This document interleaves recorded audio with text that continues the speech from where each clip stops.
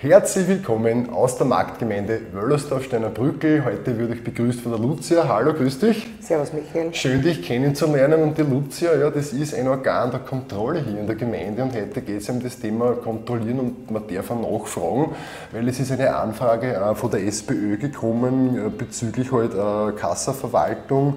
Ja, und diese Fragen wollen wir beide heute in dem Interview erklären. Bist du die Richtige für mich? Genau. Super. Frage Nummer eins, ähm, mal generell für unsere Zuseher, wie entsteht äh, ein Gemeindebudget, wie kommt es zustande? Ein Gemeindebudget wird eigentlich äh, alle Kostenstellen äh, kontrolliert. Wenn ich jetzt sage, ich mache in 2023 ein Budget für 2024, dann kontrolliere ich einmal alle Kostenstellen, nehme die Zahlen von 1 bis 9, also drei Quartale her, rechne das vierte hoch und äh, budgetiere diese Summe.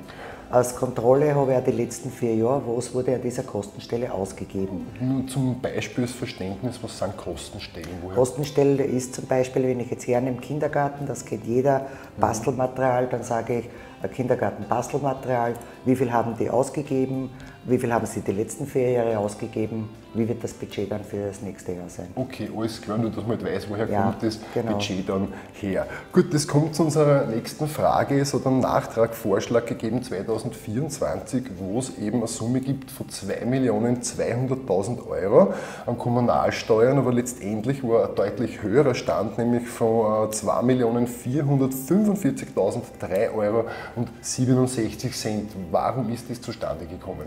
Das äh, zustande gekommen, äh, würde ich so nicht sagen. Mhm. Die 2400, das ist das Ergebnis von 23.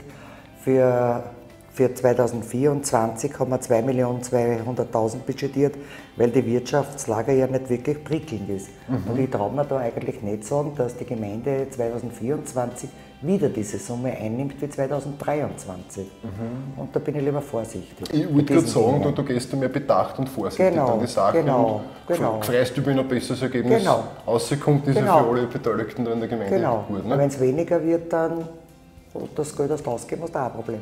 Du bist auch verantwortlich, lieber. Genau, dann habe ich auch wieder Schuld gehabt. es ist nicht so einfach, aber wenn man sehen kann, es jedem recht zu machen. hat bis dato ganz gut hingehauen. Ja. Es jedem ähm, recht zu machen.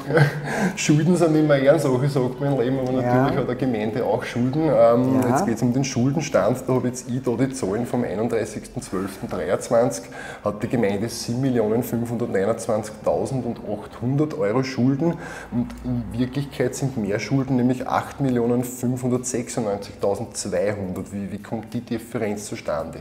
Das ist eigentlich ganz leicht gesagt und zwar wird auch da hergenommen der Iststand, also im 23er Jahr der Iststand per September 23 mhm. und äh, von dem ist man ausgegangen. Es gibt aber einen Gemeinderatsbeschluss betreffend Hochwasserschutz, wo das Land Niederösterreich sich pro Jahr 2 Millionen Euro abrufen darf. Die haben das Geld dann abgerufen, davon von diesen 2 Millionen eine Million. Aus diesem Grund hat sich das dann natürlich erhöht und wurde im Nachtragsbudget korrigiert. Okay, das ist jetzt also, verständlich. Ja, Nein. ja das wäre, man hätte mich auch fragen können. Wäre auch ja, zum Beispiel. Fragen kostet nichts, hast. Ja. ja. jetzt sind wir schon am Ende des Interviews. Ich habe da jetzt noch so eine Zusatzfrage. Ja, wenn generell ein Darlehen aufgenommen wird, es um Kreditsummen in der Gemeinde ja. geht, wie fallen da die Entscheidungen? Wird gewürfelt? Wird Nein, das wird, das wird eigentlich immer zu, äh, einstimmig beschlossen. Und wer beschließt das? Der Gemeinderat. Der Gemeinderat. Das heißt, das ja. Thema wird reintragen, es genau. diskutiert sich aus und dann genau. gibt es Und das mit dem Hochwasserschutz, das kann man alle Jahre so haben. Bis der fertiggestellt ist, das voraussichtlich ja 25 Ende 25, vielleicht Anfang 26 ist. Und dann wird erst abgerechnet, was hat das Land Niederösterreich sie abgeholt von uns an Gelder und da kommt ja alles wieder retour bis auf ein bisschen über 20 Prozent, was der Selbstbehalt der Gemeinde ist. Okay, super, na passt. Ich sage danke, dass du Bitte. heute die Fragen beantwortet hast. Bis zum nächsten Mal bei Wöllersdorf Steiner Brügel Insights. Vielen Dank, Baba. Tschüss.